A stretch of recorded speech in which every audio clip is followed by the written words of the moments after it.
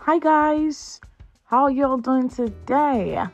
Well, welcome to my channel. Welcome to today's video. And in this video, we're going to be showing about something that I know a lot of you have been asking about. I'm going to show you how to play Roblox on your school Chromebook in 2023. So that's exactly what it is. If you are ready to learn it, then stick around. Watch this video till the end. So now let's delve straight into it. The first thing you need to do is make sure that your school Chromebook has the capability to run Android apps. This is because Roblox is an Android app and you won't be able to play it if your Chromebook does not have that feature. Assuming your Chromebook does have that feature, the next step is to download the Roblox app from the Play Store.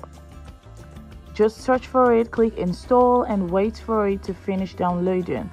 Now, I know that some schools have restrictions in place that prevent you from downloading the apps, but if that's the case, don't worry.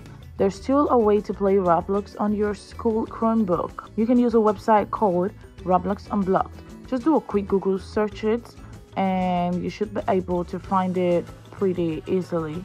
Once you're on the website, just log into your Roblox account and start playing. Yeah, that's it, just like that. So I hope this video was helpful. You see, it's really not as difficult as you might have thought, alright? Just make sure you smash that like button, subscribe to our channel if you learned something new today, and turn on your notifications so you don't get to miss any of our amazing content.